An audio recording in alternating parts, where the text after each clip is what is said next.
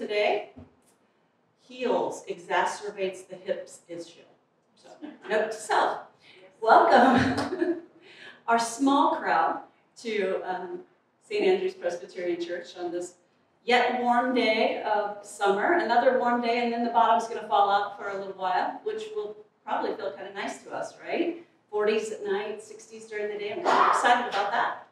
Um, just looking at announcements in our bulletin, note that there is a um, birthday celebration for Junior Elder's 100th birthday next Sunday, 1.30 to 3 o'clock, and that is at, is it at the, uh, where he lives, yes? First Baptist. No, at First Baptist, thank you, I did, because I just wasn't reading further ahead. Um, and Aggie O'Neill's birthday is tomorrow. I knew she had really hoped to get here today, but I think her children are telling her no, no yet. Um, note also Bob Bodenheimer has moved. He's um, his daughter has told us that he's struggling right now and would love some cards. Um, and Jen, it's good to see you back. Glad to have you. I don't think there are any other announcements this morning, so let us prepare our hearts and minds for worship.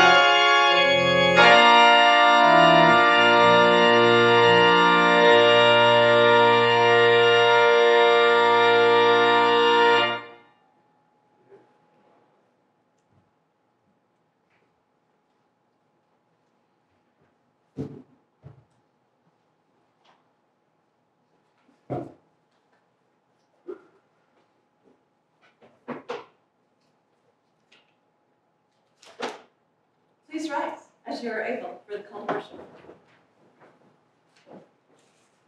Shout praise to God. Let us praise God with music and great joy. God looks upon us with favor. God rejoices in our loving compassion for others. Thanks be to God who offers to us new life. Praise be to Jesus Christ, who taught us how to live. Amen.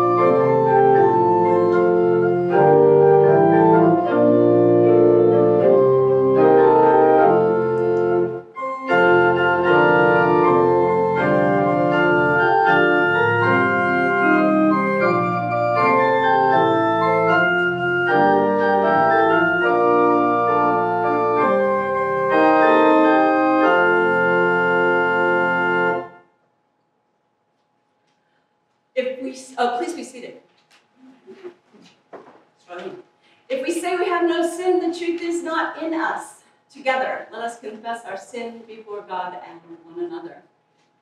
Merciful Lord, we like to think that we do everything well.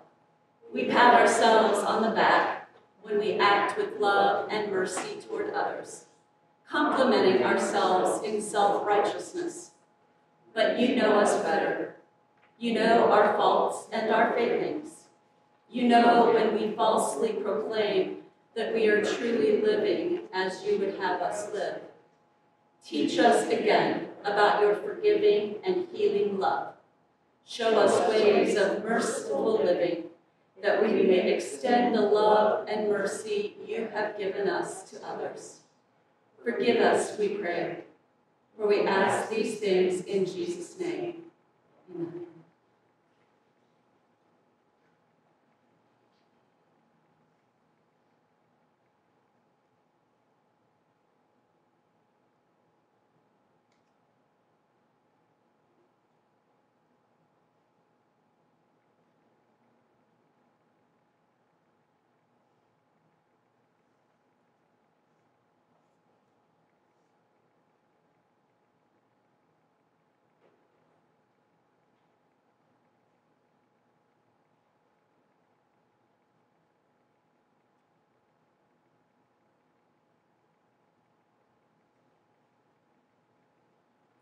Who is in a position to condemn? Only Christ. And Christ died for us, Christ rose for us, Christ reigns in power for us, Christ prays for us. My friends, believe the good news. In Jesus Christ, our sins are forgiven.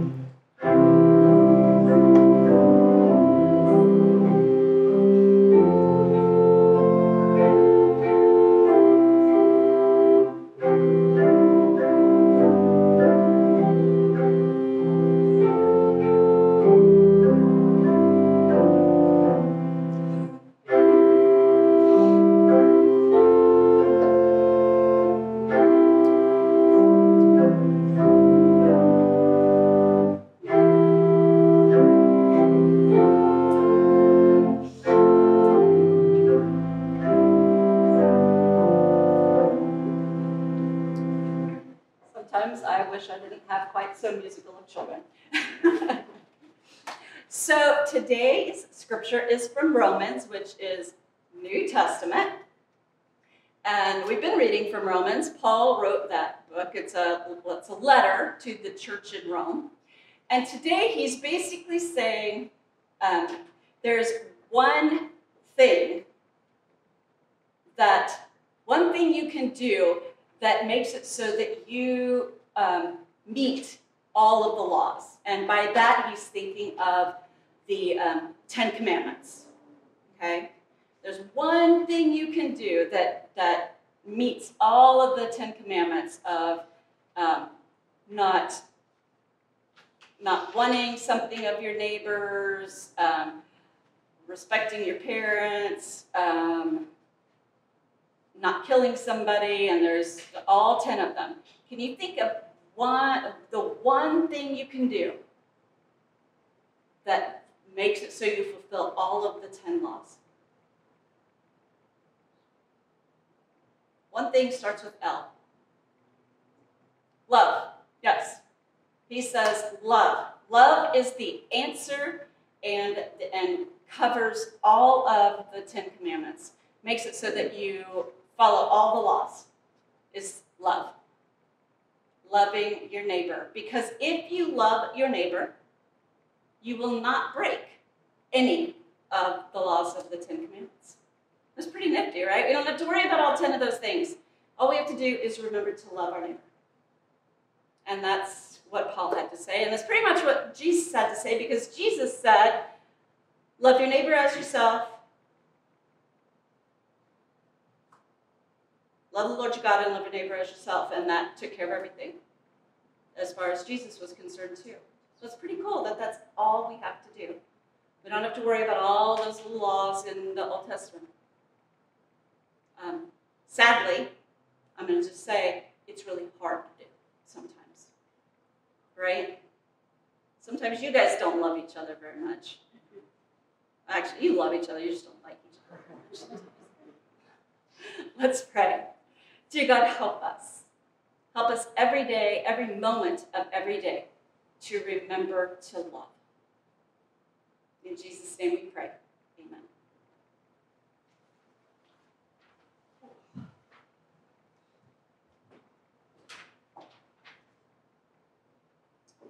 I thought since it's Labor Day weekend, I would try something a little patriotic.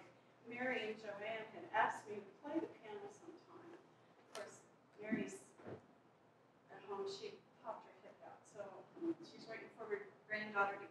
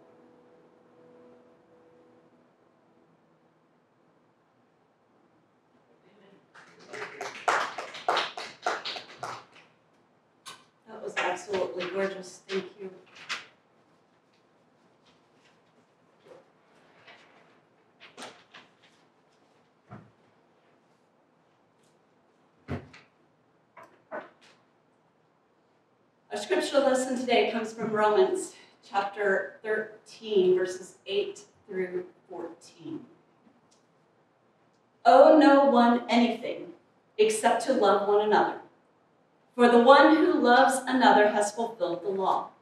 The commandments you shall not commit adultery, you shall not murder, you shall not steal, you shall not covet, and any other commandment are summed up in this word love your neighbor as yourself. Love does no wrong to a neighbor, therefore, love is the fulfilling of the law. Besides this, you know what time it is, how it is now the moment for you to wake from sleep. For salvation is nearer to us now than when we became believers. The night is far gone, the day is near. Let us then lay aside the works of darkness and put on the armor of light. Let us live honorably as in the day, not in reveling and drunkenness, not in debauchery and licentiousness, not in quarreling and jealousy. Instead, put on the Lord Jesus Christ and make no provisions for the flesh to gratify its desires. This is the word of the Lord. Thanks be to God. Okay, so I know I do this a lot, taking us back to high school, but we're going to go back to high school again for a moment. My children are in high school, and every day I say, How is that possible? But maybe there's a lot you'd like to forget about your high school years, like peer pressure, the clothes you were wearing then, and the hair, and gym class. One thing about which high school grads agree is that the textbooks contain some of the most boring, mundane, and sometimes baffling statements you've ever read in your life. If you've ever spent a part of a test trying to figure out why anyone would care, much less notice, that a train traveling 25 miles an hour from Poughkeepsie passes another train from Peoria going 35 miles an hour in the opposite direction, somewhere in the middle of nowhere, then you know what I'm talking about. If you felt inadequate at doing word problems back then, it could be that you weren't really adept at math, or perhaps it was actually the fault of the textbook writer. Unclear, blooperish, and nonsensical questions sometimes appeared in those 40 pound books that you lugged back and forth to class, which could explain that C you received in algebra back in the day. A website called Thanks Textbooks now offers a fascinating look at the myriad ways in which educational writing can make students actually more confused than proficient. The site lists dozens of textbook fails and head scratchers from around the world, enough to make even the most challenged student feel like a genius by comparison. It's almost as, the, as those textbook writers live in a different world than that inhabited by the rest of us.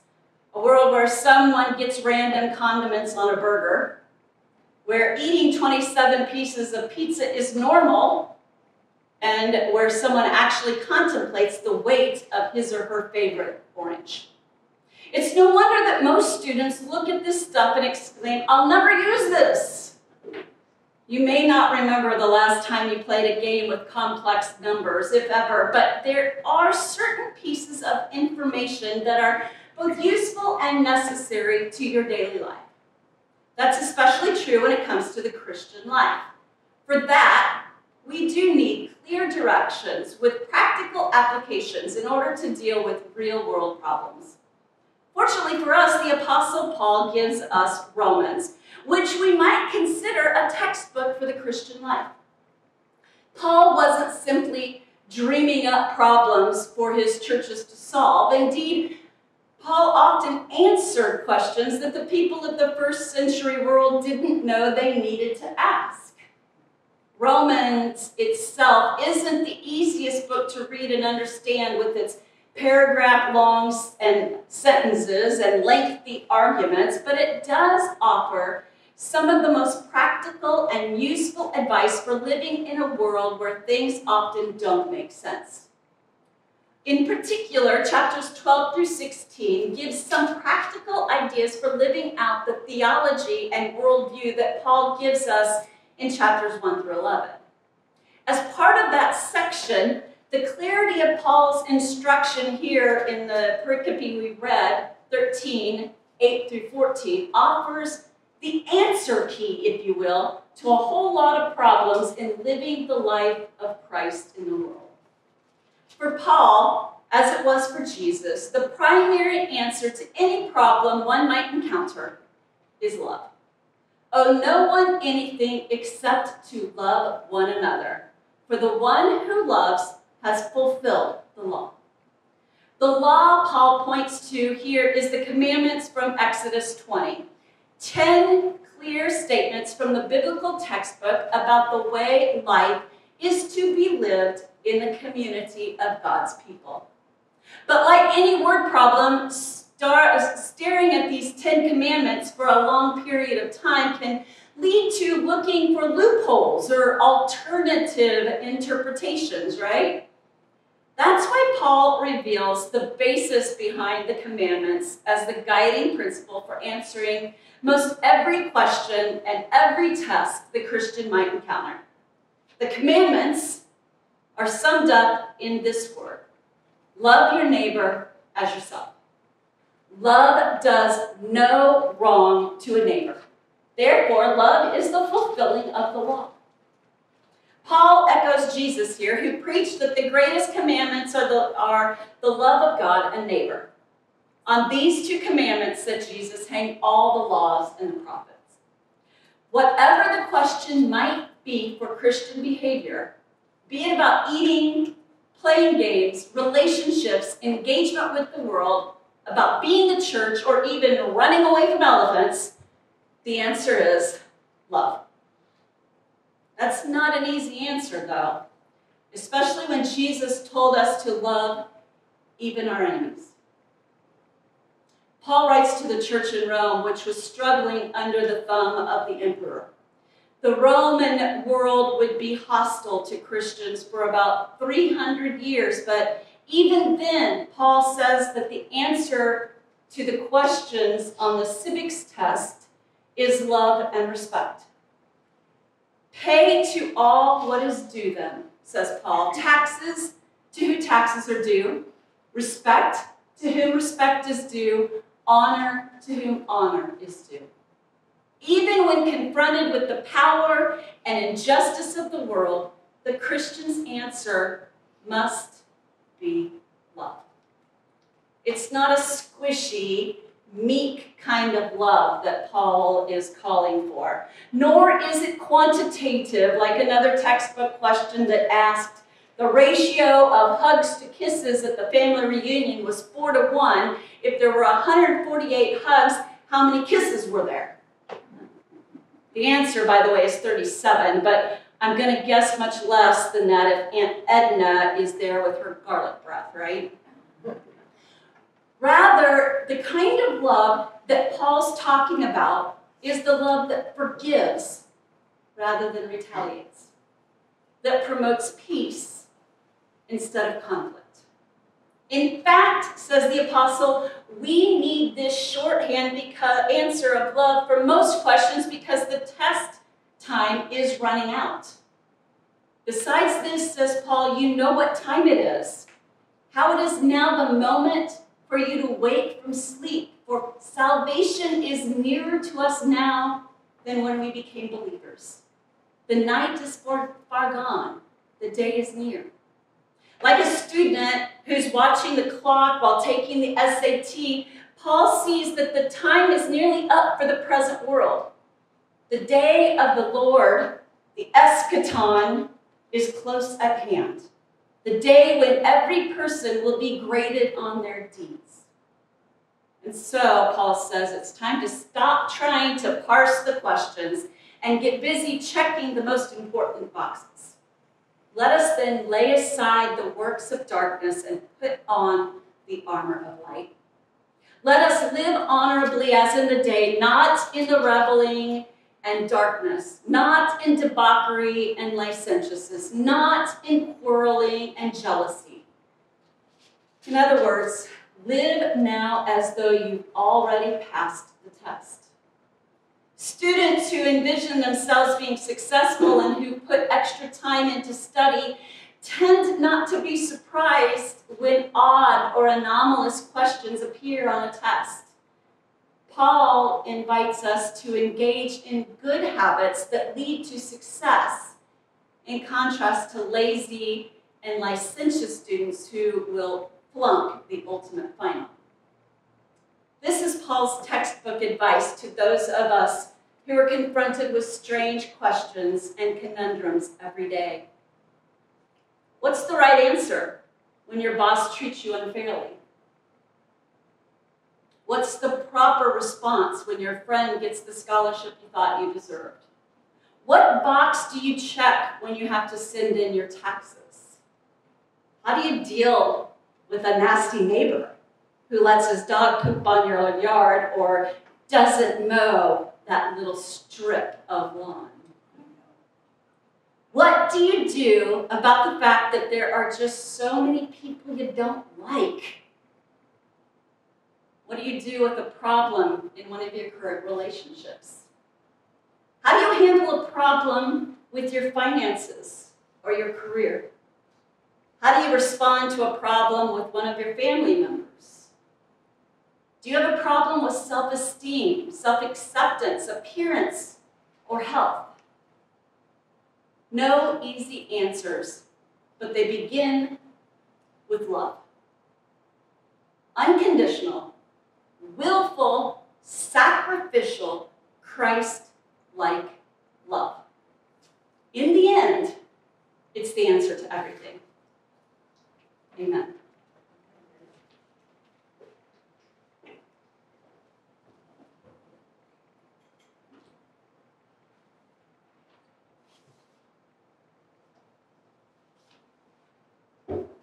Let's rise as we are able, as we hear, I love thy kingdom, Lord, number 310.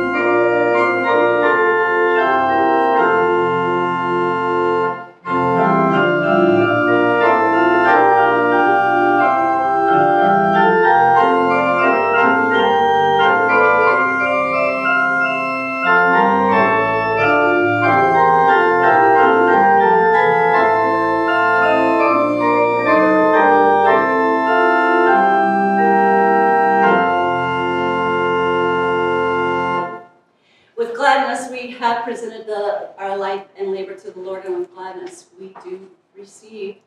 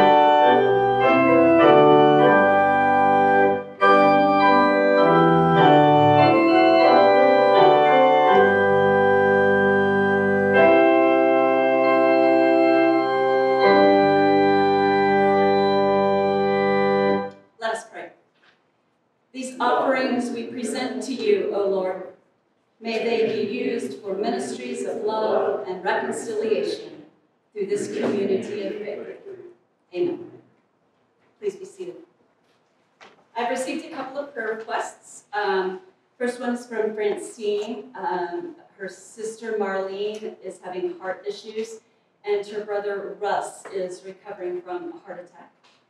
Um, Mary, as Francene has said, is having hip pain, um, as am I, and um, saw an orthopedic surgeon um, last week, and they referred me to eight weeks of physical therapy. um, I started last week, and I have three appointments this coming week. Also, as many of you are probably aware, um, please keep the Seaman community in your prayers. Um, it's been a very rough week and um, a very difficult sermon for me to preach today based on what has happened in the Seaman community. Um, so those are our prayer concerns for today. Let us join together at the table.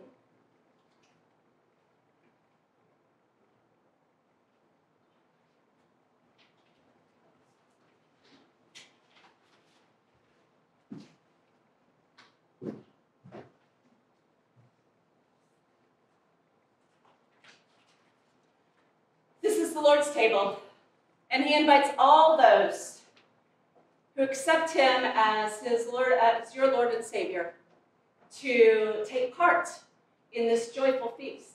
The Lord be with you. And also with you. Lift up your hearts. We lift them up to the Lord. It is right to give. Let us give thanks to the Lord our God. It is right to give our thanks and praise.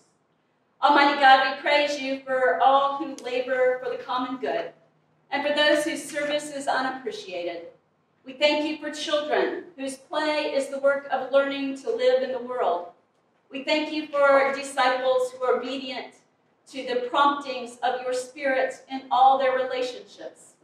We thank you for your yearning mercy that waits for us to make all our hours and days participation in your healing and blessing of the earth and all peoples.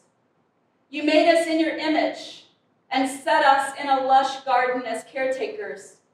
When we choose to have it all to ourselves, you turned our freedom to the toil for survival.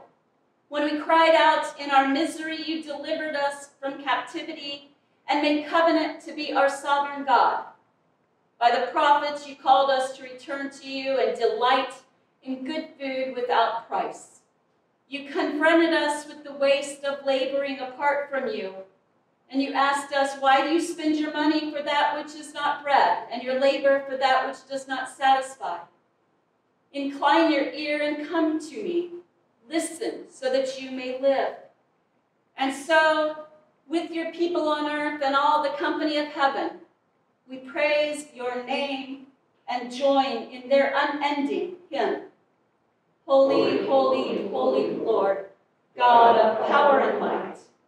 Heaven and earth are full of your glory. Hosanna in the highest. Blessed is he who comes in the name of the Lord. Hosanna in the highest. Above all, we give you thanks and blessings in your Son, Jesus Christ. Anointed with your Spirit, his food was to do your will and to complete it.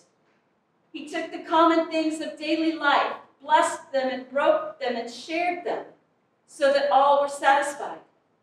He told those who followed him, Do not work for the food that perishes, but for the food that endures for eternal life. He confronted the powers of greed and evil at the cost of his life. But you triumphed over death and placed him at your right hand to intercede for his disciples until the feast of eternal life. By water and the Spirit, he calls us to continue his work until we and all peoples feast at his heavenly banquet.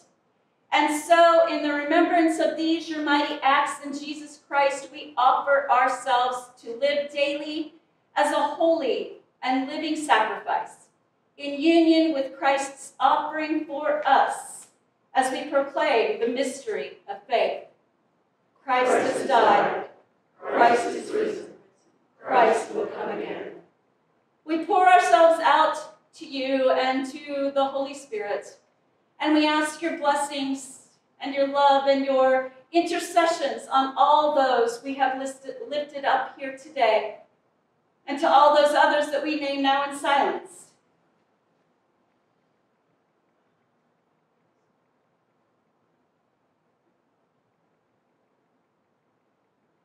All glory and honor is yours, Almighty God, now and forever.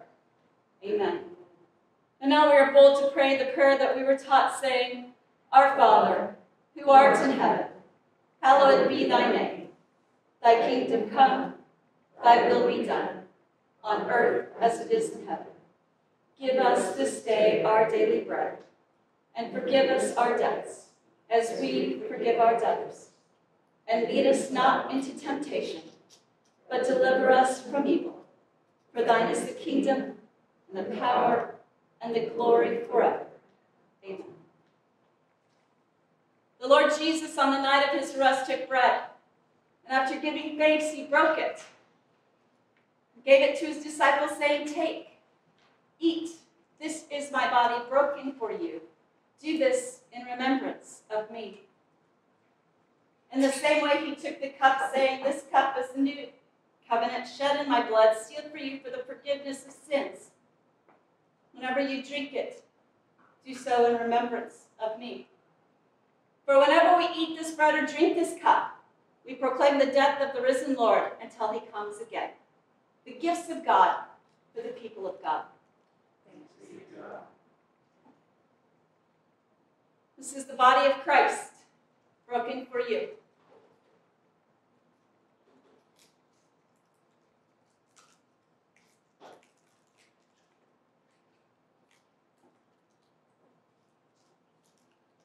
Is the blood of Christ shed